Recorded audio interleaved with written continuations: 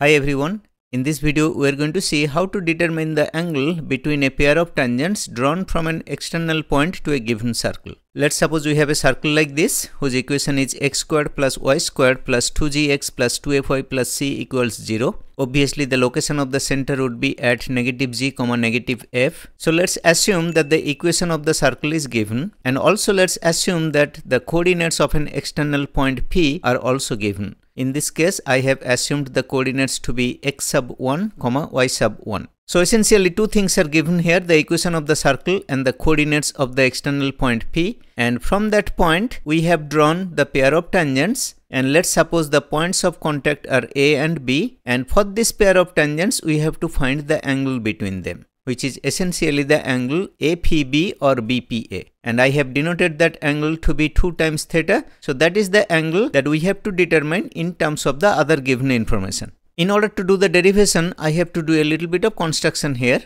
First, I am going to connect the center with the points of contact and each of them would represent the radius of the circle. I mean CA or CB, they would represent the radius of the circle. Next, I am going to join the external point with the center also from a previous theorem, we know that the angle between the radius and the tangent at the point of contact is always a 90 degree angle. So in this case, we can say that the angle CAP will be 90 degree and similarly angle CBP will also be equal to 90 degree. Now let's think about these two triangles, the triangle CAP and the triangle CBP. For these two triangles, CA is equal to CB and CP is a common side which is actually the hypotenuse for the two right triangles. So based on the RHS criteria of congruence, we can say that these two triangles would be congruent triangles. Here we have two right triangles and we have the hypotenuse same and one of the sides equal. Then these two triangles would be congruent triangles. And I have noted that here the triangle CAP will be congruent to triangle CBP.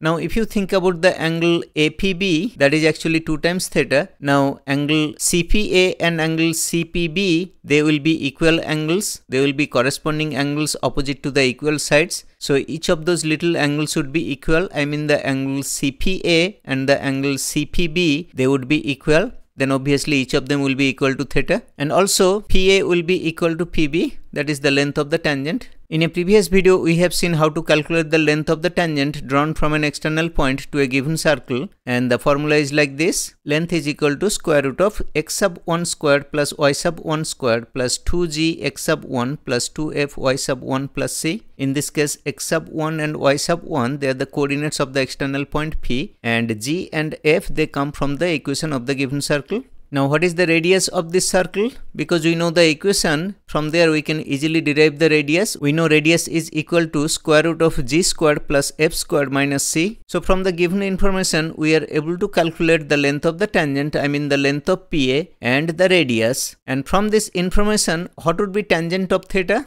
Well, we can say tangent of theta would be r over L. If we consider one of those right triangles, let's say triangle CAP, in that triangle, if you think about tangent of theta, that would be r over L. But here we have to find out the value of 2 times theta. That is the angle that we are trying to determine, right? The angle APB. So ultimately we have to somehow come up with some sort of a trigonometrical relationship with 2 times theta. Now let's think about tangent of 2 times theta. Can we express tangent of 2 times theta in terms of tangent of theta? If we can do that, then we can easily calculate it because you already know the value of tangent of theta which is r over L. r is known, L is known. So tangent of theta is known. So if we can somehow express tangent of 2 theta in terms of tangent of theta, then our problem is solved. And here I have noted tangent of 2 theta is equal to 2 times tangent of theta over 1 minus tangent square of theta. That comes straight from the trigonometry of multiple angles. Now here let's plug in the value of tangent of theta. Since we have been able to derive the value of tangent of theta, let's just plug in that value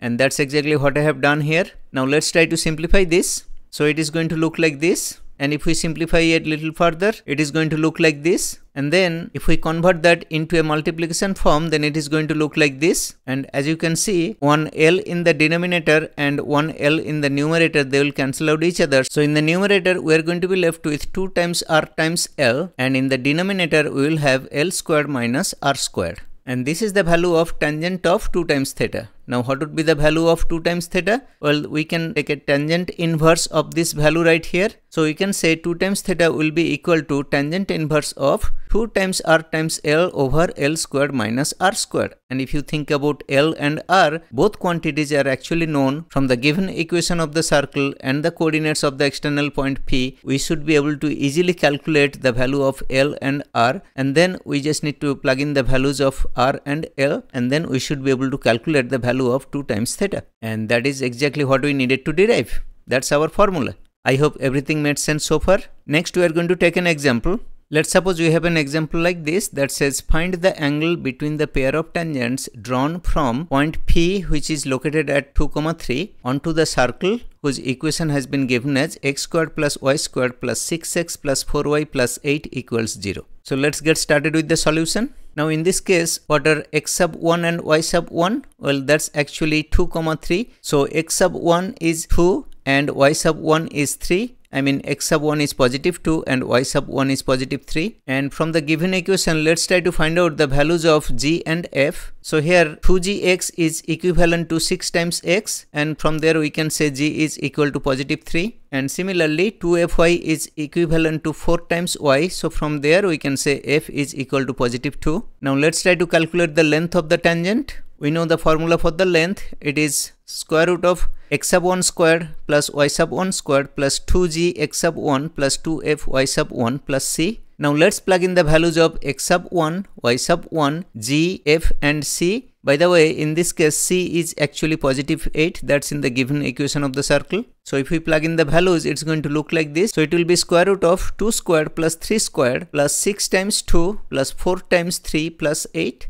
because 2g is equal to 6 and 2f is equal to 4. So the value going to look like this and if we simplify it a little bit it is going to look like square root of 4 plus 9 plus 12 plus 12 plus 8 and that simplifies to square root of 45 and that can be written as 3 times square root of 5. Next, let's calculate the value of r. Well, we know r is equal to square root of g squared plus f squared minus c. And if we plug in the values, it's going to look like this. It will be 3 squared plus 2 squared minus 8. And that will be equal to square root of 5. So now we have the length, we have the radius. Now let's just plug in these values in the formula for the angle between that pair of tangents angle between the pair of tangents is actually equal to tangent inverse of 2rl over l squared minus r squared. And next I am going to just plug in the values and simplify it. So it will be tangent inverse of 2 times r is square root of 5 and L is 3 times square root of 5 over L squared minus R squared. So that would be 3 times square root of 5 whole squared minus square root of 5 squared. And if we simplify this, it will look like tangent inverse of